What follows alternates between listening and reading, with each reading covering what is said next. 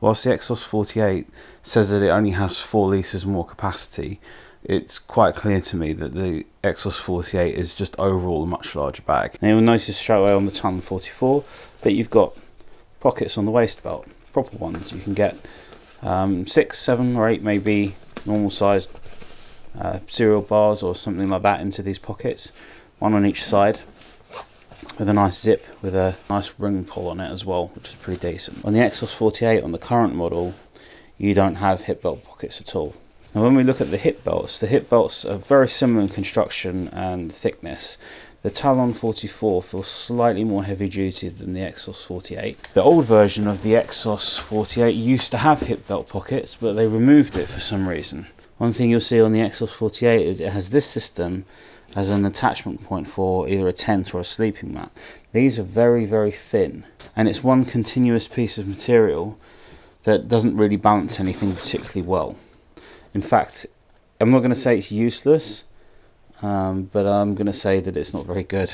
Talon 44, on the other hand, is a much more conventional pack, and that's a theme that you'll see throughout. It has the standard um, attachment area for like a tent on the back, as you'd find on most rucksacks. Now one area where things really start to change is these outside pockets. On the Exos 48. They are absolutely huge and you can fit lots of different things into them. Now I've stuck a one litre Nalgene bottle into next to a one and a half litre water bottle. You can see how big they are. So that fits in as does that. it's really big and that's the same on both sides and this is kind of ideas repeated on this on the back section here as well. It's absolutely huge. It really fits a lot. Apparently the older version was even bigger, but this is definitely big enough for anything that anyone could sort of reasonably want it for, I think. So you have a very large pocket on the back again. You can see you can get that as a one litre Nalgene in there just as a reference size and you could probably fit quite a few other things still in there as well.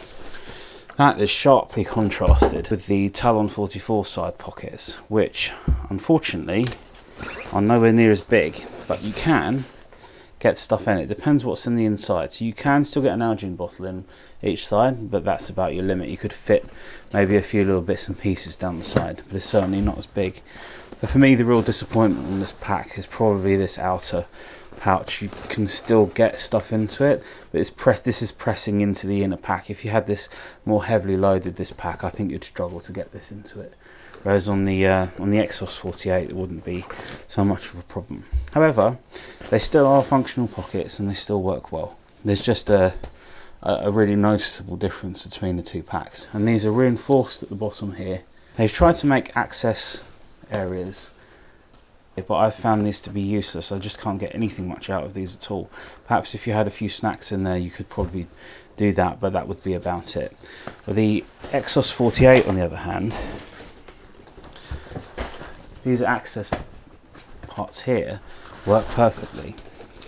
You can easily you can see how much bigger these pockets are. Now we're going to look at back support and shoulder straps. On the Talon 44 here, the back support is it's called the AirScape system. It's just like a little bit of padding, and there's I can feel inside that there's two metal. Uh, they feel like metal bars. They might be fiberglass. I'm not sure, but there's two support bars running down the side. But it's a, it is a flexible pack. It's more flexible than the Exos 48. But what we have is a system that sits flush to the back. It's very conventional, and we have a back adjustment system. You know, with the Velcro here, which you can pull out, and then you can slide the back up and down to adjust it. So this is again a theme with the Talon 44 is very conventional pack. It's very square, straight, and with an adjustable back system. Now the Exos 48 on the other hand has a curved system. It's uh, the it's called Airspeed, and it's the frame itself sits away from this mesh, and the whole pack is actually curved in an arc. You can see it like this, that it curves in this way, and it has these metal rods that run through it um, and it's a it's certainly a much stiffer pack. But we notice here that the back system is not adjustable in height. Now both of these packs are available in different sizes, and you should use the Osprey uh, website in order to find out which size pack would be best for you. And there's uh, these are to do with the length of your length of your back. This system is much cooler in the summer. It allows airflow and it keeps the pack away from your back. But it is a slightly weird shape, however, and it means that it doesn't stand. It will just fall over. The Exos 48 sits in such a way that it, it does seem to have the effect of feeling as if it's not as heavy. The pack gets wider at the base, comes in narrower, and then seems to get, get wider again, almost like an hourglass shape. This bend that you see here is more, much more pronounced inside. We'll come on to the inside shapes in a little while. I just want to cover the uh, shoulder straps first. Now, the sh shoulder straps on this on the Exos 48 are kind of like hollow tubes, mash into different shapes like this. They're quite padded and they feel quite wide, but to me, when they're under some strain, they sort of do this like this and they become more tubular, like that, more cylindrical. They're not quite as wide. Talon 44, much thinner straps, but they're wider, so they feel like they spread the load better. Um, in this instance, my preference is probably for the Talon 44 straps. I think that they they sit better, they stay wider for longer, and spread the load a bit better. Neither of them have uh, secure attachment points. They've both gone for sort of elasticated material attachment points. I suppose there's this hoop here, it's very slightly elasticated on the Exos 48. You can hang a carabiner from. This is probably a better attachment point on the Exos 48 though than is on the uh, Talon 44. Overall though, my preference would be for the Talon 44 straps. I kind of feel that yeah, this is perhaps better in the summer because it's got lots of holes in it. Will get the the sweat away and the heat out more easily. But they definitely, to me, feel feel narrower. They don't spread the load quite as well because of that. Now the top lids on these packs are much the same, really. There's a Uh, one pocket at the top, and then you have the standard pocket on the inside as well. The only real difference is the Exos 48 is detachable, so you can just clip the lid out. And then it has a secondary flap which you can use if you want to use the pack without the lid it will reduce the pack weight slightly and you can attach the outside straps here which is a really nice touch I think on the Exos 48 it's nice to have that you can have a and that attaches like this with these clips and when you finish with these what you do is you just fold them in and they tuck away like this. And then when you're using the regular lid, this just becomes a flap. We see on the Talon, you have an adjustable, you can adjust the height of the lid, um, but it's not really detachable in that sense. Uh, the Talon 44 also has a decent sized inner pocket as well. The Exos 48 has this ridge inside, which is quite sharp angled and solid. And it means that it's not a straight pack inside, it's sort of like a slight L shape it also gets wider at the bottom, then narrower towards the middle, and then wider again at the top. And one of the problems that this can cause is firstly that it's slightly harder to load it quickly, but it can create an unbalanced pack if you're not careful. The Exos 48 requires more care when you're loading it to balance the weight out properly. It can easily become top heavy because you can shove some stuff at the bottom, then the, the middle narrow the middle area becomes narrow, which is traditionally where you want to put most of your uh, heavy items.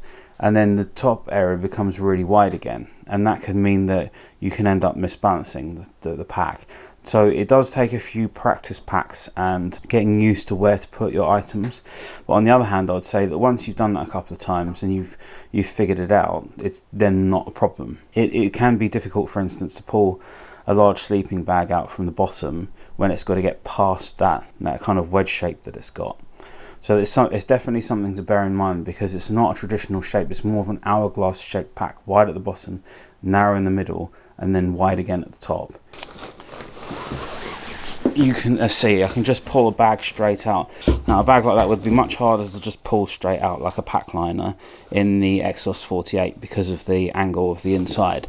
The Talon inside is just a standard rectangle. The Exos 48 is can take more gear, you can store more into it, although it's going to be harder to do that because of its unusual shape, but it has these cavernous external pockets.